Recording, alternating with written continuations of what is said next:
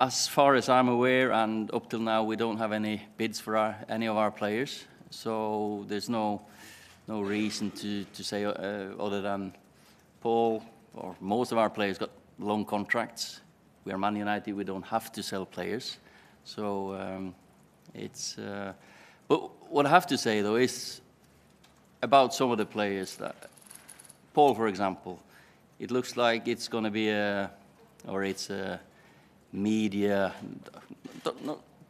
I don't want to call it a, but it's an agenda against Paul. He's, he's a top, top bloke. He's a great, great professional. He's never been any problems. He's got a heart of gold, and Jesse and, for example, Jesse and Paul yesterday walking around, and it's been uh, portrayed as it's a fight between the two boys, and that's. I know that that's you're here to sell sell papers and sell stories, but that's no, nothing, no problems between uh, the boys at all. So, and they're all professional.